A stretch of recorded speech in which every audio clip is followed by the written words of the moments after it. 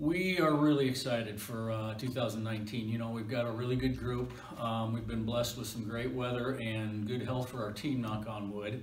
Um, workouts have been going at a good pace. Uh, we have a lot of new guys in a lot of different positions, but we also have a core nucleus coming back. So it's been a very smooth transition so far. Um, I think this last few days, the boys are at that point where they're really excited to play a game. Uh, you know, we've we've obviously been going over there for years, and uh, it, it's a great way to start the season. It'll be really good baseball. They're obviously an excellent opponent. Um, I'm excited to see what our guys can do. We're very athletic overall. Um, we think we have some depth on the mound. Um, so I, I'm really excited to see what some of our new guys can do.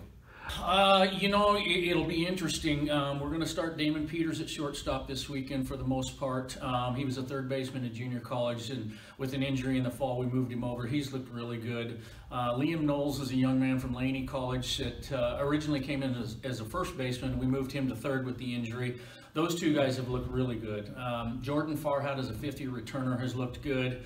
Um, our pitching staff, we think, is very deep overall. Um, we'll obviously find out a little bit about that this weekend. But, you know, Isaac Mitchum and Caleb Jones as our two returners on the mound, and all GNAC guys have looked very, very steady the entire time. So we're, we're just excited to see what our guys can do and get, get on the field against somebody else.